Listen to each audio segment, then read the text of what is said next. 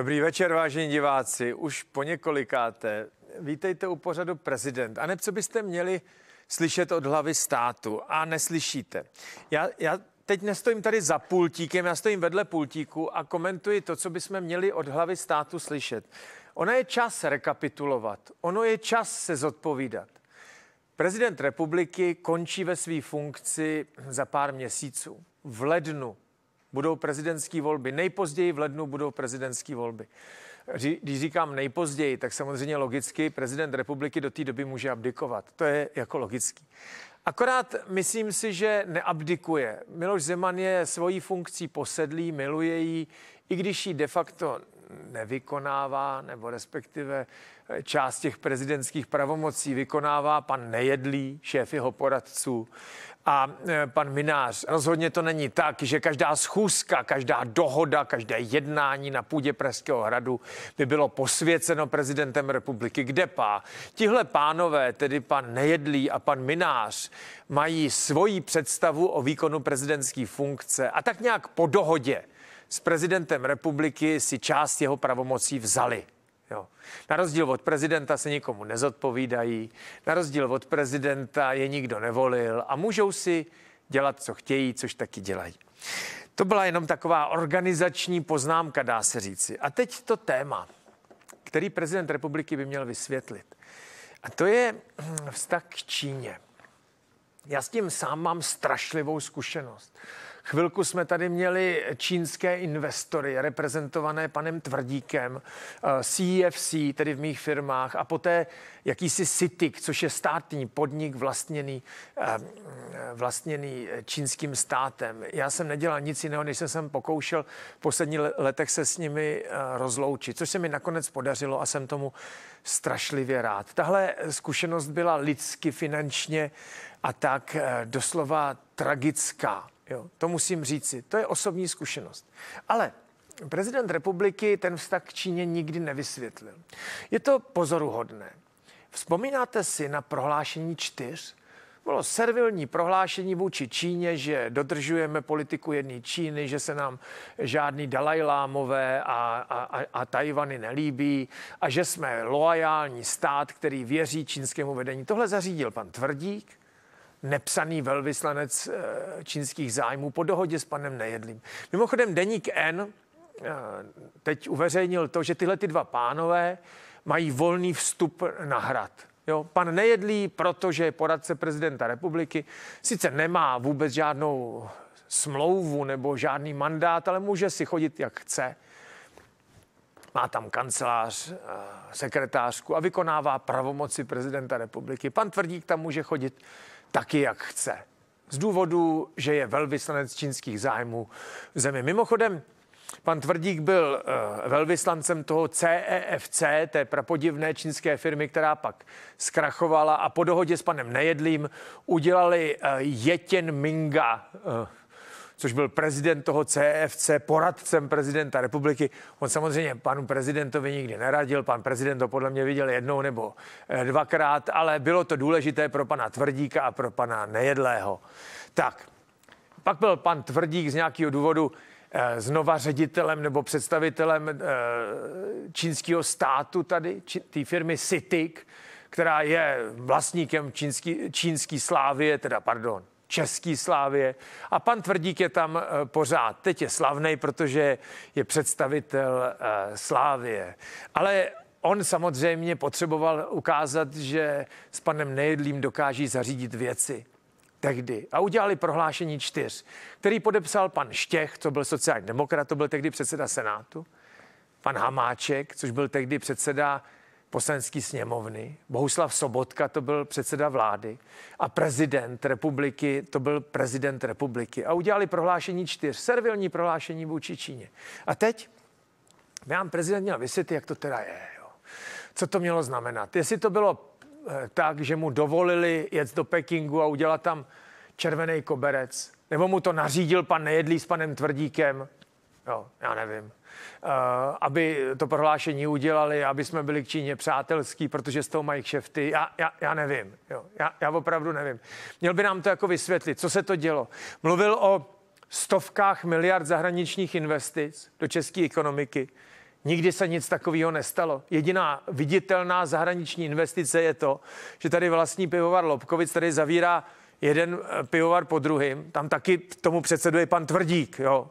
A fotbalovou slávy, který taky předseduje pan Tvrdík. A to je tak jako všechno. Tak by to měl nějak vysvětlit, co to mělo jako znamenat, kdo co nesplnil, proč to jako udělal. Já jsem tomu věřil stejně jako spousta dalších lidí věřila tomu, že Číňané tady budou masivně investovat. Nic takového se samozřejmě nestalo a zbyla po nich spoušť. A teď vidíme, že Čína je takovým nepsaným kámošem Vladimíra Putina.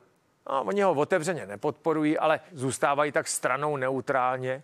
Říkají, že válka není v zájmu nikoho, tak by se to mělo nějak udělat, aby ta válka nebyla. Ale jak by se to mělo udělat, to teda neřekli.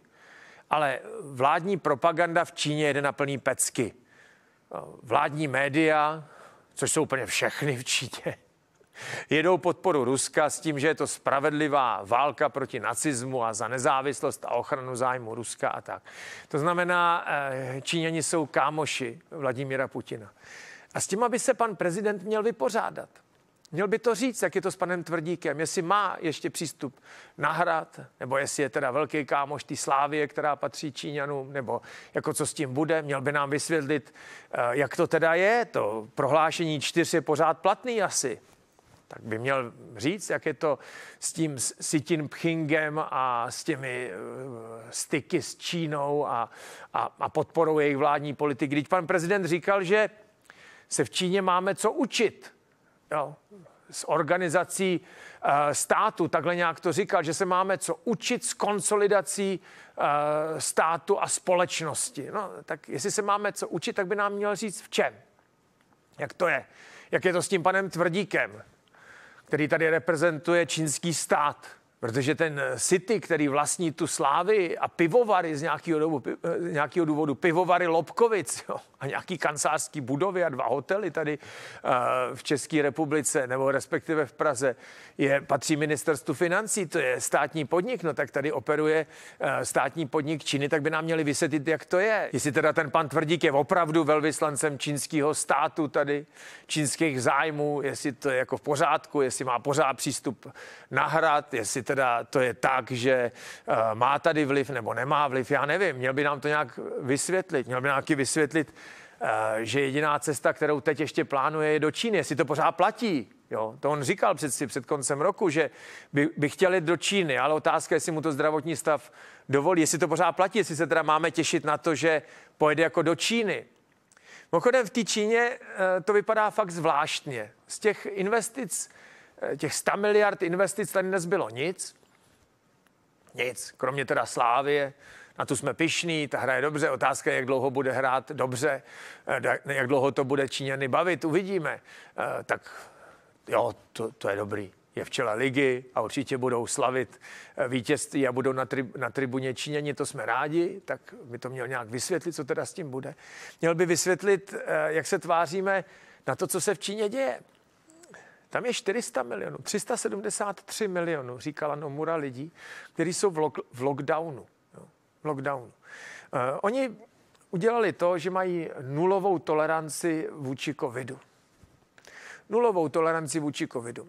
Což znamená, že každý, kdo má covid, toho seberou a někam, někde izolujou a nikdo nesmí nikam chodit, aby to nemohl chytnout. Jo. Takže všichni musí být doma a nesmí jít ani venčit psa. Ehm, ty psy, když pustíte, aby se vyvenčili sami, tak podle obrázku na internetu zabijou. Eh, jako, že by mohli roznášet covid a tak ho prostě zabijou. Já jsem viděl na internetu video, jak zabili psa lopatou, který nějaký nešťastný, který chtěl dodržet ty pravidla, pustil ven na ulici.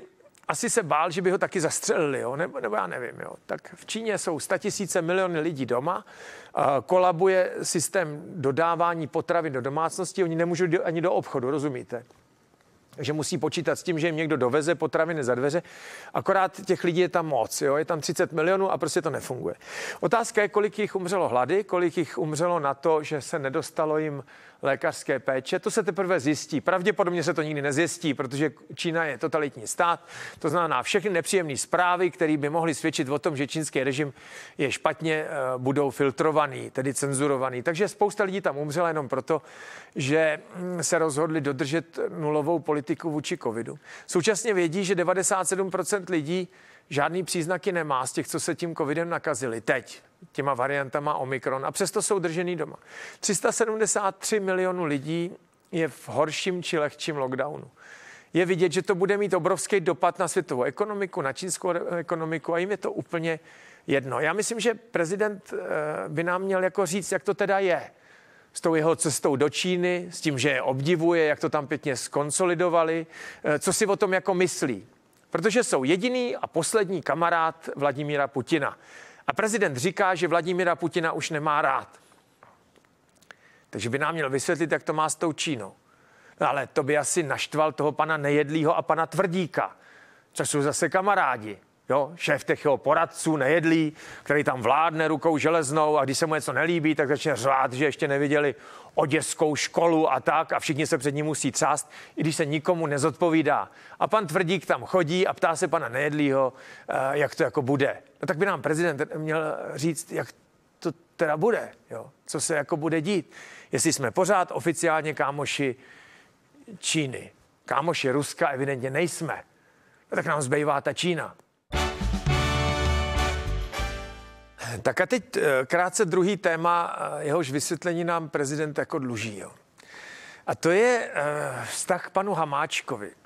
Hamáček byl ministrem vnitra, byl taky velvyslancem nebo zmocněncem prezidenta republiky pro vztahy s Čínou. Jo. Když už jsem tady vysvětloval vztahy toho pana Tvrdíka, Jetěn Minga, zmizelého poradce a pana Nejedlího, to je se mimořádně zajímavý, že média do tohohle nejdou. Jo? Oni se pustili do toho poradce, jako kdyby toho poradce jmenoval prezident. To znamená, kritizovali prezidenta za to, že má poradce Jetěn Minga, který ho zavřeli Číňani. Jo. A ta jeho firma zkrachovala. Ale ředitelem té firmy, která zkrachovala, byl pan Tvrdík. Všechny věci, které ten Jetěn Ming tady podepsal, tak eh, přines pan Tvrdík a jeho nejlepším kamarádem byl pan Nejedlý. A pan Nejedlý s panem Tvrdíkem toho Jetěn Minga prezidentovi dodali, on ho předtím neznal. A zajímavé je, že média najíždí do toho Zemana, do prezidenta a nikoli do těch dvou, do toho Tvrdíka a do toho Nejedlího.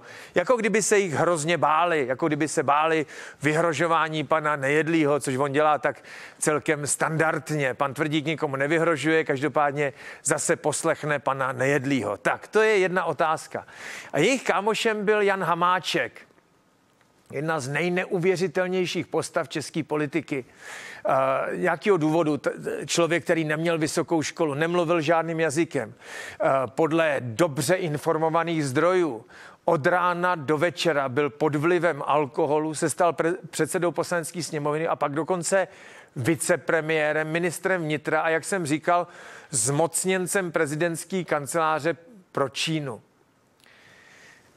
Víte, Babišova vláda měla čtyři koaliční partnery. Formálně to bylo ANO a ČSSD. A ještě k tomu teda byli komunisti a hrad.